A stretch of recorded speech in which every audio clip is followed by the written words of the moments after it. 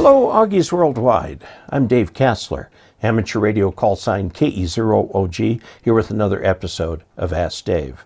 Today we're going to answer a question from Shawn Hoffman, KO4IDY. And here's what he has to ask. It says, Hey Dave, I love your channel and watch all the time. Well, thank you. I have a question that maybe you can help me with. I am a captain on a ship and would like to set up my station on board. Okay, now uh, we don't need to really uh, look at the rest of this because uh, I want to draw a picture here. So I'm going to move this up to where we can see the whole screen. He's the captain of a ship, a real ship, the kind of ship that sails the seven seas. So in honor of it, we'll draw it in purple. Okay, he's got a ship there's water. And he says from the top of the mast, you know, there's all the infrastructure up here and everything. From the top of the mast to the water line is 114 feet. So it's a, it's a ship. And he wants to know if he can put an antenna on this and use the ship itself as a ground plane. And the answer is absolutely yes. This whole thing is made of steel. Okay?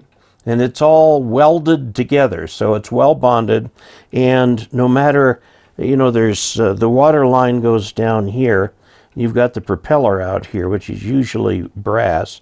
And through that and through many other ways even though this is very thoroughly painted you're going to have contact between seawater and the metal and therefore an outstanding ground. Okay so if you have uh, an antenna, there's a couple ways of doing this. One from the mast, string some wire, with some standoffs, run some ladder line, and you can run that on any band, okay, uh, including 160, okay.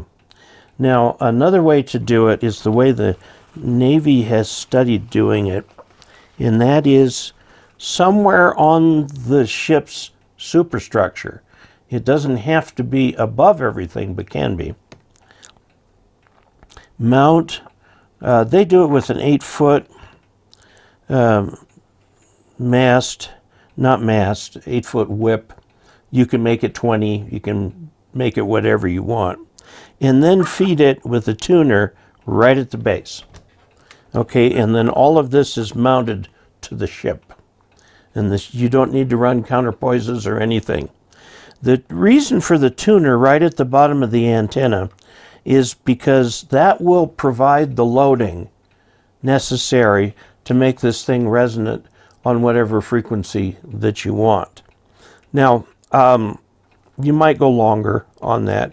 Get this kind of in the clear, recognizing that any other uh, parts that protrude up above it on the ship are going to block the signal in that direction. So you'll have a funny pattern.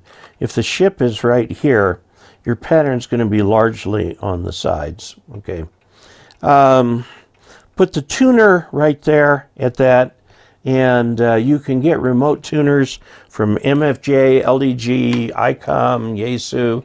Uh, all kinds of people have remote tuners uh, that can be made to work in this type of a situation. Now this will not be broadband. So if you look on your waterfall, you're only going to see a few kilohertz on each side of that.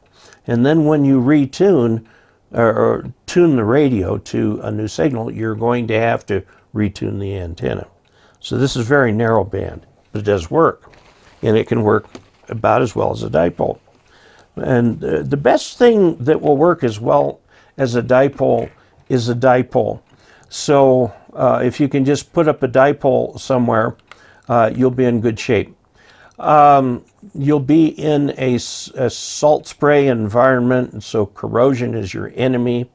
Uh, note that you have copper coming into contact with dissimilar metals in an antenna. Make sure that um, you've got them protected from the elements and recognize that you're probably going to have to replace that antenna every couple years anyway just because of the salt corrosion. So, Captain Shawn, there you go. I hope that helps. Boy, I look forward to working from your Maritime Mobile. and uh, have a good time with ham radio out on the high seas. Um, I guess ships don't have radio operators anymore, otherwise, the radio operator could set you up with uh, just what you need. So, there you have it. If you would like to help support this channel financially, you certainly can. Go to www.dcasler.com slash support, and there are a variety of ways there. Maybe something works for you.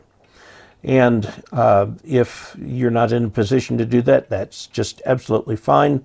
You can subscribe, and just the fact that you've subscribed indicates to YouTube that this is a channel worth watching. Thank you very much for your time, and until we next meet, 73.